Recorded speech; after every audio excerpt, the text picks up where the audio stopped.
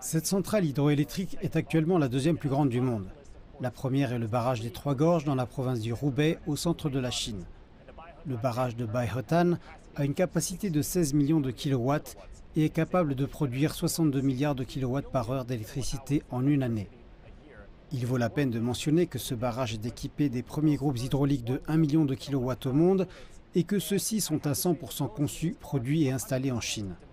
C'est la raison pour laquelle les ingénieurs ont déclaré que ce niveau de réussite propulsait la Chine au sommet du mont Komolangma en termes de production d'équipements hydroélectriques.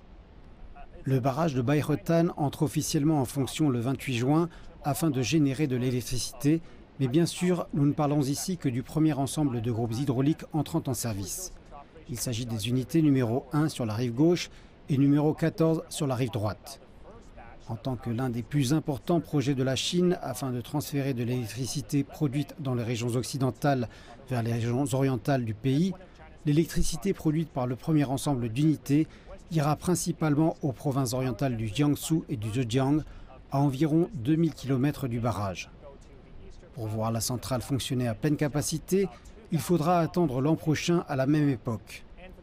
À ce moment-là, la capacité totale de génération d'électricité du barrage pour une seule journée sera en mesure de satisfaire les besoins en consommation énergétique de 50 millions de personnes.